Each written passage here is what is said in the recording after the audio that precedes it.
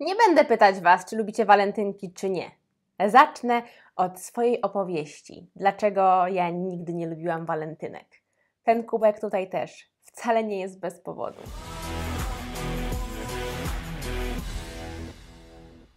Nie no, zapytam, lubicie walentynki czy nie? Jak nie, to dlaczego?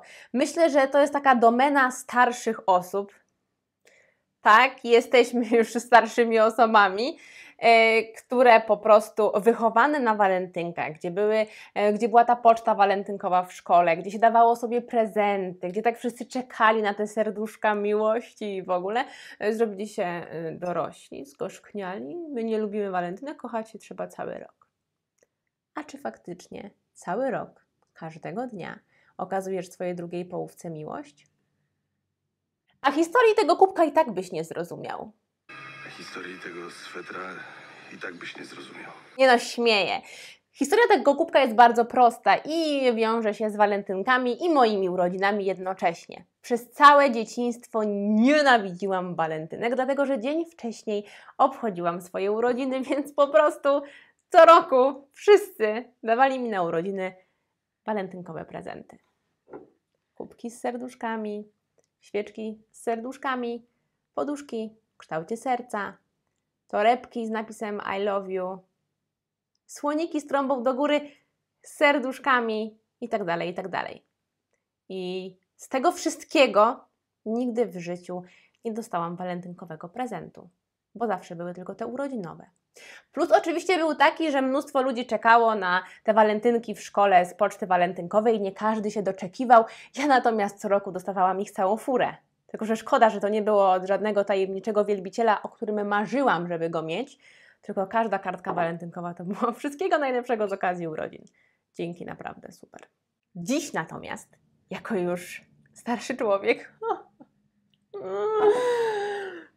jako starszy człowiek, Dziś na przykład bardzo lubię walentynki z wielu powodów. Oczywiście pomijam ten cały a, a, a, a, a, a, na, na, na, na. Aspekt komercjalizacji tego święta jak każdego innego. Możemy nie lubić wielu świąt ze względu na ich komercjalizację, ale od tego nie uciekniemy. Na przykład Dzień Mamy też jest bardzo mocno skomercjalizowany, a jakoś nikt nie neguje jego istnienia, czy jego zasady istnienia, zasadności istnienia. Dominika, kuźwa. I dokładnie tak samo podejdźmy do walentynek, jako do święta miłości. I to nie tylko tej miłości do romantycznego partnera, ale miłości w ogóle. Czyli miłości do, do wszystkich tych, których kochamy, ale też miłości do samych siebie. To będzie puenta dzisiejszego odcinka. Wiem, nie powinnam robić puenty na początku, ale to jest po prostu ważne i chciałabym, żeby wy... chciałam, żeby to wybrzmiało, bo to jest bardzo ważne i myślę, że po prostu mylnie e, odbieramy walentynki. A wejdźmy tak troszkę głębiej. Przecież miłość to jedno z najpiękniejszych uczuć w życiu każdego człowieka, więc celebrujmy tę miłość. Ale nie tylko w walentynki. Zatem pięć rzeczy, które w związku powinniście robić każdego dnia, co na maksa umocni wasz związek, zbuduje taki nawyk dbania o ten związek i sprawi, bardzo szybko zresztą, zobaczycie, że takie małe gesty naprawdę mają ogromny wpływ na nasz związek. Bo oczywiście związek przechodzi przez masę różnych etapów i na początku nie możemy bez siebie żyć, są SMS-siki, są słodkie wiadomości, są przytulasy, długie całusy i tak dalej. No a później przychodzi proza życia i to nie jest wcale nic dziwnego, że po prostu to życie się zmienia ale to nie znaczy, że my nie możemy takiej drobnej cegiełki każdego dnia dokładać, żeby po prostu cały czas ten żar się tlił, a czasami nawet buchał.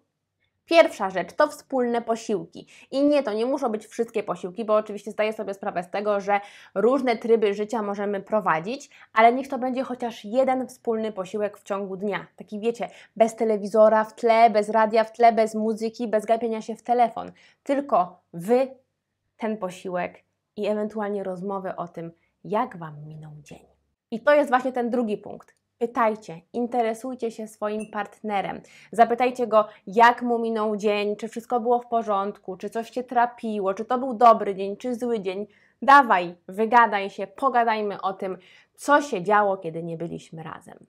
Przytulasy i pocałunki. Ja wiem, że to jest takie mega banalne, raczej każdego dnia albo się przytulicie przed snem, albo sobie dacie buzi, ale w tym chodzi o coś innego, o coś dłuższego, właśnie, żeby robić te elementy bardziej świadomie, czyli nie jakiś tam buziaczek na pożegnanie, nie jakiś tam drobny przytulas zaraz przed snem, tylko żeby robić to świadomie, żeby to, żeby to był taki wasz nawyk w ciągu dnia, żeby się przytulić i przytulać się nie przez sekundę czy dwie, tylko dłużej spróbować uspokoić oddech. Zobaczycie, jak spróbujecie się przytulić dłużej, nawet przez minutę, to będziecie czuć, jak opada z Was całe napięcie, jakiś stres dnia codziennego. Po prostu zobaczycie, jak to przytulanie potrafi koić. To jest niesamowita moc przytulania, o której wiele z Was już sobie zapomniało, bo te przytulasy takie długie to były kiedyś, tam dawno, dawno temu. A spróbujcie sobie tę magię przypomnieć. Tak samo z tymi buziakami. Nie, że nara, tylko pocałujcie się. Tak naprawdę. Po prostu każdego dnia miejcie taki prawdziwy, miłosny pocałunek. Okazujcie sobie wdzięczność. Nawet jeżeli chodzi o takie zwykłe czynności, na przykład on opróżni zmywarkę, co jest na przykład Twoim obowiązkiem w domu, więc podziękuj. Dziękuję, że pomyślałeś o tym, że wrócę z pracy zmęczona i rozładowałeś zmywarkę. Bardzo jestem Ci wdzięczna. Ale też okazujcie sobie wdzięczność tak po prostu za to, że jesteście. Dziękuję, że jesteś ze mną. Dziękuję, że mogę Ci się wygadać. Dziękuję, że mnie wspierasz. To są takie naprawdę drobne gesty, ale sprawiają, że tym obu stronom się chce to robić. Po prostu. Ostatnie, ale nie ostatnie, jeżeli chodzi o ważność, bo raczej bym powiedziała, że to jest najważniejsze. Wieczory bez telefonu, czy jakiekolwiek inne pory dnia. Po prostu czas tylko dla Was. Nie ma telefonu, nie ma żadnych dystraktorów, żadnych innych rozpraszaczy, jesteście tylko Wy. Ewentualnie przytulanie możecie robić to w ciszy, ale najważniejsze, że nie ma tego telefonu, żebyście czuli, że ten czas, który spędzacie razem, jest taki na maksa czasem spędzonym razem, a nie, że no niby jesteśmy obok siebie, ale ten się gapi w telewizor, ten się gapi w telefon. Nie, spróbujcie po prostu pobyć razem bez żadnych rozpraszaczy dookoła. A jak się do tych wszystkich elementów przyłożycie i będziecie kontynuować je, będziecie je praktykować przez przynajmniej kilka dni, kilkanaście dni, to dajcie znać później, czy zauważyliście różnicę. Bo ja na przykład taką największą różnicę zauważyłam właśnie w tych wieczorach bez telefonu i w przytulasach. Serio.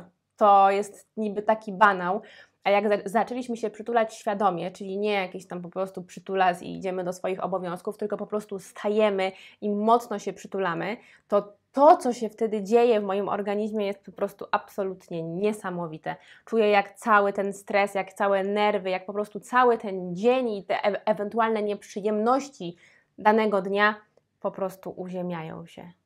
To jest fantastyczne. Spróbujcie, spróbujcie każdy z tych elementów praktykować przynajmniej przez kilka, kilkanaście dni i zobaczycie różnicę. Serio, gwarantuję. A później się pochwalcie, jak było. Kocham Was. Widzicie? Walentynki, nie tylko miłość do romantycznego partnera, Kocham wszystkich obserwujących Mosia, wszystkich Mosiowców. Jestem Wam bardzo, bardzo wdzięczna za to, że jesteście, bo dzięki Wam chce mi się tworzyć te wszystkie treści dalej, bo dajecie mi ogromnego powera, ogromne wsparcie e, i nakręcacie mnie dalej do działania. Więc w to wyjątkowe święto miłości dziękuję również Wam i kocham Was bardzo, bardzo. Ale jak coś to kubków z serduszkiem mi nie dawajcie. Mam ich wsrocz. No to lubicie te walentynki czy nie? Powiedzcie po tym odcinku już. Kiedy Wam powiedziałam, że to nie jest tylko ten, to komercyjne święto kuźwa serduszek i innych różowych wad cukrowych, tylko po prostu święto miłości. To będziecie lubić trochę bardziej te walentynki, czy dalej po prostu ni cholery, no?